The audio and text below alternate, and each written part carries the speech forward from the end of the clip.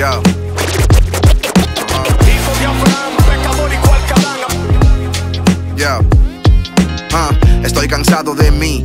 Vida. Llevo rato y no trato de buscar una salida. Comprender la realidad y naturaleza humana es como vivir con una herida que no sana. Tengo este problema en mí que no me deja. El deseo de hacer el mal en mi ser no se aleja. Busco hacer el bien, pero este sentimiento deja una sensación que crea situaciones complejas. A veces no me conozco, me miro al espejo. Veo como mi reflejo solo se hace más viejo. Lidio con la envidia, con la lascivia y el odio. Me embarga la desidia y el orgullo en su podio. Atacan pensamientos, atracando buenos sentimientos, dejándome un estado depresivo. Y es obvio, quiero retirarme, quitarme, desistir.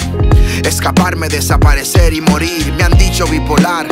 No tengo alas y me quieren enseñar a volar. Es lo fatal, estoy cansado de mí, de esta realidad mi cuerpo. A veces amanezco vivo, deseando estar muerto, mi carne y yo.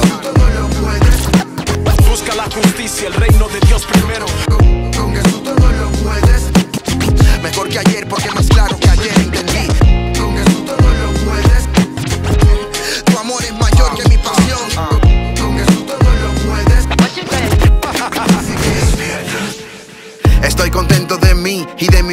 Se siente grato que a todo el mal rato encuentre salida. Comprende su misericordia y su amor eterno.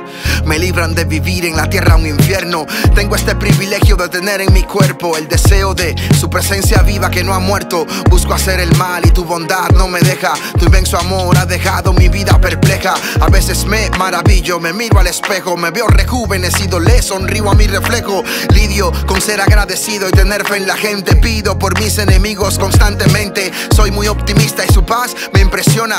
Cuando oro puedo ver cómo todo funciona. Quiero permanecer, quiero avanzar, quiero seguir. Quiero embellecer el porvenir de alguien. Me han dicho que no soy débil y que soy fuerte. Mi mayor deseo es que cuando vea a Dios después de la muerte, me reciba y pueda oír su voz decir: Bienvenido, estoy orgulloso de ti, mi carne y yo.